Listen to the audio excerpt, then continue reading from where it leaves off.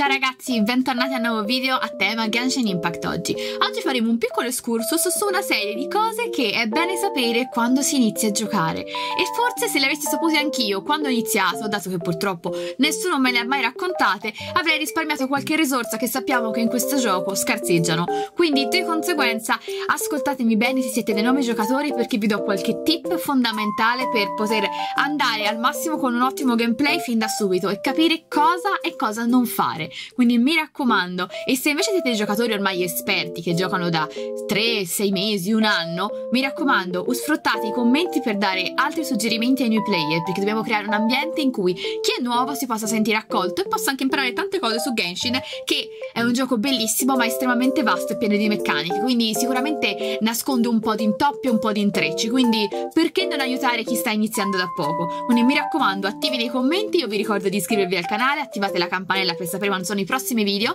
e adesso iniziamo con cosa fare e non fare su Genshin Impact. Consiglio numero 1. Il primo riguarda le resine, le quali servono all'interno del gioco come valuta per droppare le ricompense di domain, boss e world boss, i quali droppano a loro volta materiali di ascensione dei personaggi, materiali di ascensione delle armi, artefatti e anche materiali per l'ascensione dei talenti. Quindi sono fondamentali per far sì che i vostri personaggi vengano power uppati e potenziati. E non solo i personaggi, ma anche le stesse armi. Ad ogni modo, cosa voglio dirvi a riguardo? Che le resine si distinguono in resini fragili e in original resins. Qual è la differenza? Una resina fragile corrisponde esattamente ad 1 e ve ne serviranno 20 per fare un domain 40 per fare un boss e 30 per fare un world boss. Se fate più di 3 world boss settimanalmente, il quarto vi costerà 60 resine. Potete capire che hanno un tempo di ricarica molto elevato perché una singola resina fragile ci mette ben 8 minuti a ricaricarsi, il che significa che potrete fare esattamente un domain dopo che saranno passate 20 volte 8 minuti fatevi il calcolo e vi renderete conto che di tempo ce ne serve. Di conseguenza esiste anche un'altra tipologia di resine che sono le resine original. Il mio consiglio riguarda proprio queste resine. Quando ve le danno, conservatele perché saranno fondamentali quando sarete più avanti nel gioco per il farming degli artefatti. Quindi utilizzate le resine fragili che sono quelle che vi si ricaricano, 160 è il cap massimo che potete avere in contemporanea, sfruttatele e aspettate che si ricarichino per utilizzarle. Mentre quelle che sono originali non le utilizzate finché non raggiungerete il livello 45. Questo perché? Perché è sopra il livello 45 che si possono droppare gli artefatti dorati più facilmente e questo fa sì che potrete droppare a quel punto gli artefatti che poi diventeranno permanenti sui vostri personaggi. Quindi se volete buildare i vostri personaggi il mio consiglio è risparmiate le resine per più avanti. Io purtroppo non l'ho fatto e quando ho iniziato a buildare effettivamente i personaggi mi sono trovata lievemente in difficoltà perché mi mancava il materiale fondamentale per il farming farming ed è vero che se ne può ottenere alcune usando un po' di Primogens, ma le Primogens servono per pullare ragazzi, se le usiamo anche per ricaricare le resine non finiamo più. Non dico che non vada fatto, perché anche io utilizzo sempre 60 Primogens per aggiungermi un po' di resine, però considerando un free to play è tanto meglio se le Primogens le accumula per le pull e quindi è questione di aspettare un livello necessario per droppare gli artefatti corretti per buildare i vostri personaggi. Consiglio numero 2. Il consiglio numero 2 è strettamente correlato al numero 1. Come vi dicevo, da rank 45 in su potrete sbloccare il livello massimo di difficoltà dei domain e quindi con il livello massimo di difficoltà sbloccherete anche la possibilità di droppare ad ogni run almeno un artefatto dorato ed è proprio quell'artefatto dorato che fa la differenza. Di conseguenza io vi consiglio vivamente di aspettare il livello 45 per buildare i vostri personaggi con gli artefatti corretti. Quello che vi consiglio di fare adesso, quando siete a un livello sotto il 45, quindi un 30, un 35, un 20, concentratevi sì sul buildarli, ma in primo luogo concentratevi sulla loro ascensione dei personaggi, portateli al 40, poi al 60, eccetera, eccetera, e soprattutto se volete dargli gli artefatti, dategli di qualsiasi set, possibilmente quelli che vi droppano i boss, che saranno lievemente migliori di quelli che troverete con l'esplorazione o a giro, ma ad ogni modo dategli degli artefatti che abbiano la statistica principale corretta. Per il primo momento concentratevi concentratevi sulla statistica principale. Quindi un Diluc ovviamente in coppa mettetegli un Pyro Damage, non mettetegli a caso un Cryo Damage o un Hydro Damage, ovviamente ha un Diluc. PG Pyro servirà un Pyro Damage. Quando poi avrete il livello 45 andrete nel domain apposito, che è quello delle Crimson, e farmerete le Crimson giuste per lui, e a quel punto potrete full buildarlo nella maniera che più ritenete corretta.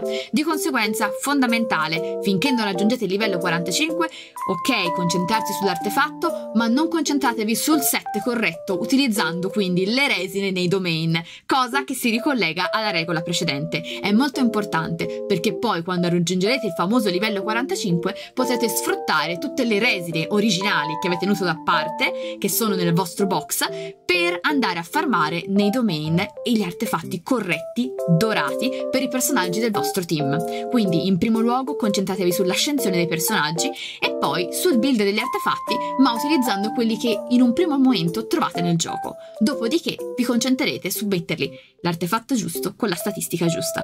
Consiglio numero 3.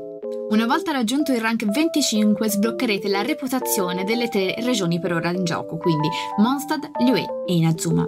La reputazione è una graduazione di livello dall'1 all'8 con una ricompensa una volta si raggiunge un livello ed è veramente veramente importante non dimenticare di fare settimanalmente le tre request e le tre bounty per aumentare la reputazione.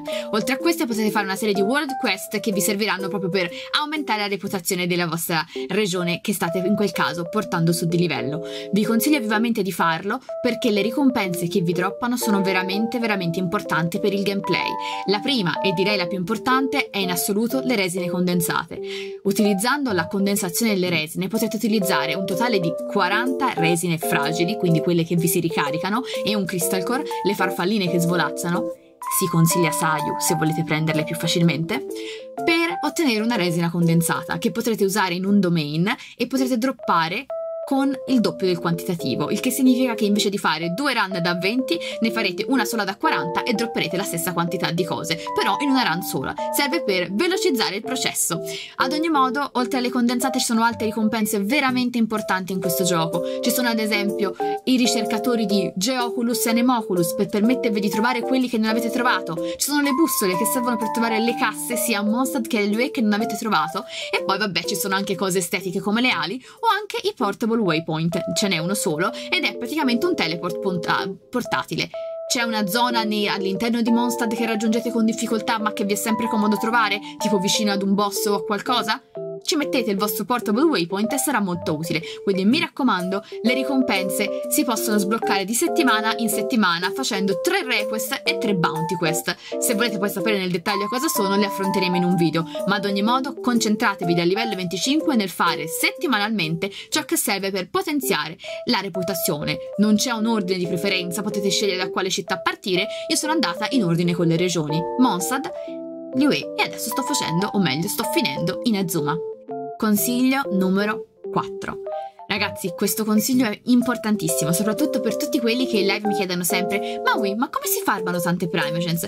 Beh, la risposta ve la do adesso. Come già vi dico in live, la risposta è la parola esplorazione.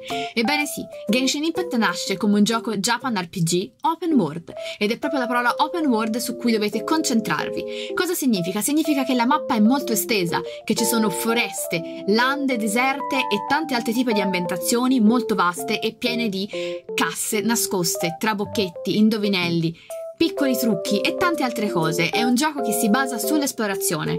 Non si può giocare a Genshin senza avere una buona dose da avventurieri per esplorare ogni singolo angolo di tutta Teyvat, perché è proprio esplorando Teyvat che sbloccherete tantissime world quest, casse e tante altre cose, come semplicemente i waypoint che vi servono proprio per ottenere Primogens, fare obiettivi e quindi mia, il mio consiglio per chi inizia a giocare, mettetevi in testa che se vedete una mappa grande ogni singolo punto va esplorato per bene e cioè portare a 100% le varie regioni non basta perché ci sono anche cose nascoste che non vengono conteggiate nella percentuale 100% quando finite una sottoregione ad esempio di Mondstadt. Quindi ragazzi gambe in spalla, piccoli dori agli esploratori, andiamo tutti insieme ad esplorare Teyvat ed è veramente importante ragazzi perché non c'è niente che vi permette, soprattutto da free to play, di farmare bene le Primogens quanto l'esplorazione, ovviamente sommata agli eventi, ma l'esplorazione è tutto. Consiglio numero 5 e anche ultimo di questo video. Se poi ne vorrete altri di video con i consigli per giocare al meglio a Genshin Impact fatemelo sapere nei commenti che ci tengo tanto e mi aiutate anche a capire con un feedback quali video vorreste vedere o meno, quindi mi raccomando fatevi sapere. Ad ogni modo il consiglio numero 5 si basa sui talenti. Questa parola per me sono un incubo, vi spiego. Praticamente io per i primi due mesi di gioco non mi ero assolutamente resa conto dell'esistenza dei talenti, il che ha fatto sì che io per i primi due mesi non potenziassi le skill di nessuno dei miei personaggi. Invece invece per un'ottima build e soprattutto per l'utilizzo corretto di un personaggio è fondamentale ascendere nelle skill.